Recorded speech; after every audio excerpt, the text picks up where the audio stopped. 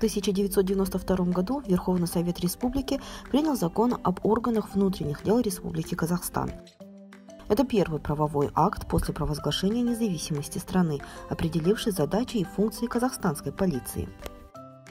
Сегодня Департамент полиции Восточно-Казахстанской области ведет деятельность по восьми направлениям. Это административная полиция, миграционная служба, криминальная полиция, противодействие наркопреступности, противодействие экстремизму, кадровая политика, следствие и дознание, местная полицейская служба.